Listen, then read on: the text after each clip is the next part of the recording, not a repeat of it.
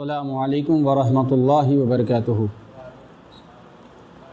मुअज़्ज़ज़ नाज़रीन किराम असर की नमाज़ के बाद आप हजरात की रूबरू हुआ हूँ। अल्लाह ताला मेरा बोलना और लोगों को सुनना, सुनाना कबूल फरमाए। कल हमने गुसल के ताल्लुक़ से, नहाने के ताल्लुक़ से, आप हजरात के कानों के समातों के हवाले गुसल का बयान किया था।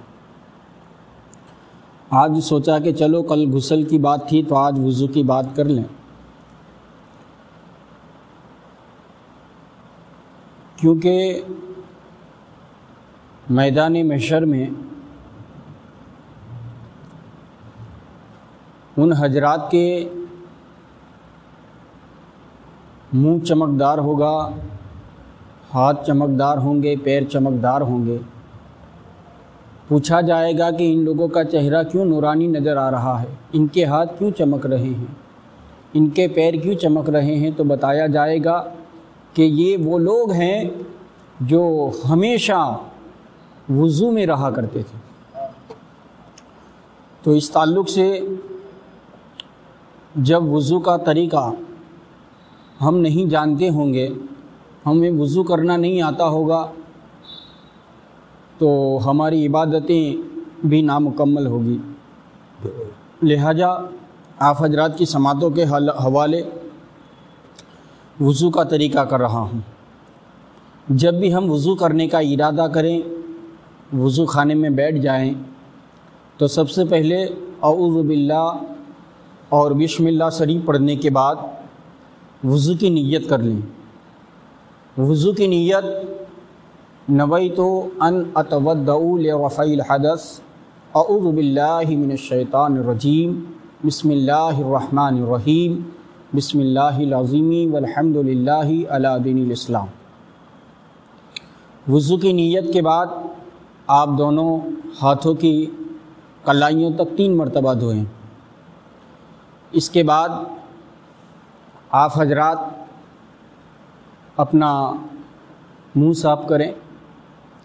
मिशवाक हो तो मिसवाक ये रसूल पाक की सबसे प्यारी सुन्नत है। मिसवाक हो तो मिसवाक तीन मरतबा दाहनी जाइब और तीन मरतबा बाई जानिब, तीन मरतबा बीच में। करने के बाद तीन कुल्ली करें। कुल्ली करने के बाद नाक की सफ़ाई करें तीन मरतबा। इसके बाद पूरे चेहरे को धोएँ। बाल उगने की जगह से लेकर ठोडी के नीचे तक और एक कान के लौ से दूसरे कान के लौ तक। इसके बाद आप दोनों हाथों को कोहनियों समीत धो लें।